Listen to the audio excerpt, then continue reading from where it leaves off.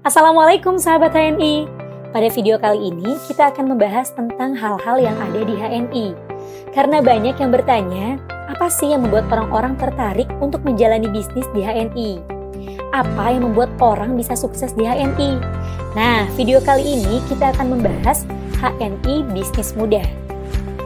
Kenapa mudah? Dari awal HNI sejatinya adalah bisnis yang murah meriah, dapat dikerjakan di mana saja, kapan saja, dan menggunakan dana dengan seminimal mungkin. Nah, kata mudah di HNI memiliki arti yaitu M mau, U undang, D duplikasi, A alat bantu, dan H home sharing. Mari kita mulai dari huruf M yaitu mau. Apabila Anda ingin sukses di HNI, langkah paling pertama yang harus Anda tanamkan dalam diri Anda adalah keinginan atau kemauan. Mau belajar, mau sukses, mau sabar, mau ikhtiar, mau punya penghasilan yang besar, mau punya kendaraan, mau punya rumah, dan yang lainnya. Jadi, tanamkan dari diri kita terlebih dahulu untuk mau, sehingga apa pun yang dilakukan tidak menjadi beban, terasa nyaman, dan enjoy karena datangnya dari hati dan atas kemauan Anda. Huruf selanjutnya yaitu U undang.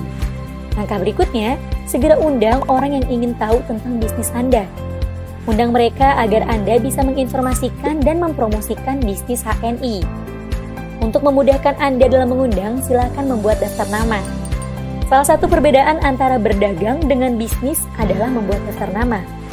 Kalau berdagang, umumnya tidak memerlukan daftar nama. Tapi kalau bisnis umumnya sangat diperlukan untuk membuat daftar nama.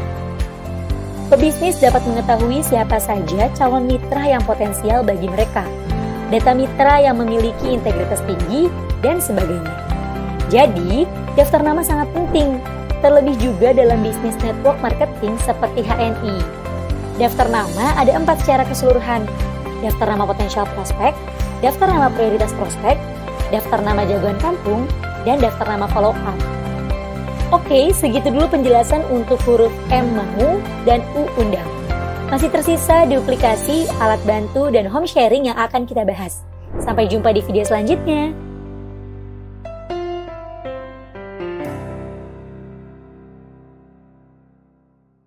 Assalamualaikum sahabat HNI.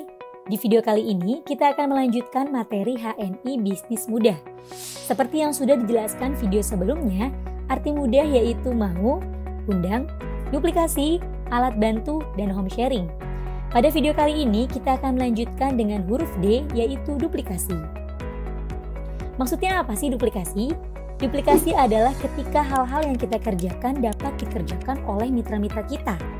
Kunci sukses di HNI adalah sederhana. Kalau Anda menjalani bisnis HNI dengan sederhana, maka mitra-mitra Anda akan berpikir, "Oh, semudah itu." Karena sukses di HNI itu bisa karena terbiasa yaitu dengan cara menjalani hal-hal sederhana secara rutin hingga tercapai semua target. Dan hal yang paling sederhana dilakukan di HNI adalah PCA, yaitu pakai, cerita, dan ajak. Mengapa PCA? Agar kita mudah, terbiasa, dan punya banyak pasar. Jadi ingat ya sahabat HNI, ke mana pun kaki melangkah, PCA jangan lupa. Huruf selanjutnya yaitu A, alat bantu. Alat bantu membantu untuk memudahkan kerja Anda. Apa aja sih alat bantunya? Alat bantu pertama adalah kartu HNI. Lalu yang berikutnya katalog, buku panduan sukses, produk, dan brosur. Jadi, ke mana pun Anda PCA, pastikan untuk selalu membawa alat bantu yang sudah disediakan oleh manajemen HNI. Huruf terakhir yaitu H, home sharing.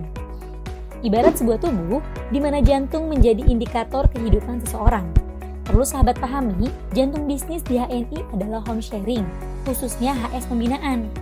HS Pembinaan berfungsi sebagai motivation pump untuk memompa semangat dan menggerakkan para mitra tim solid penuh semangat meraih prestasi terbaik di HNI.